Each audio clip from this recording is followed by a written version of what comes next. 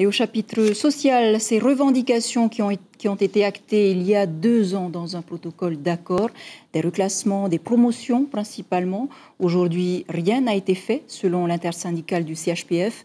Les cinq principales centrales syndicales ont donc déposé un préavis de grève. Il sera effectif ce jeudi si aucun accord n'est trouvé. On voit cela avec Nicolas Suir et Hiro Terurotoa. Les organisations syndicales du centre hospitalier prêtes à en découdre. Dans leur préavis de grève, sept points de revendication, dont le premier est le respect du protocole d'accord de 2019.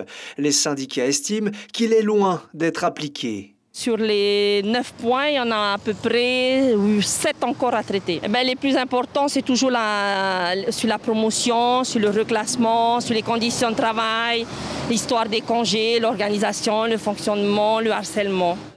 Parmi toutes ces revendications, il est principalement question de promotion et de reclassement du personnel.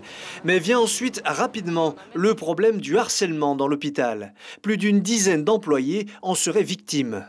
Il y en a beaucoup qui sont partis en, arrêt psy et tout, euh, donc euh, qui veulent changer de service.